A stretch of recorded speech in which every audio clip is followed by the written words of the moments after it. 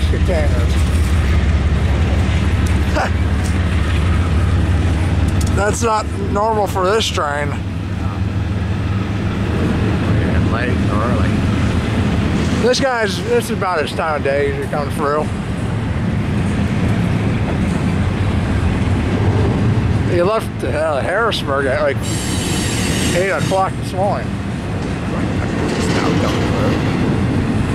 Coming Well, 25V delayed him out there by Altoona. 25V had to drop the intermodal car off at Rose Yard because it had a bad axle.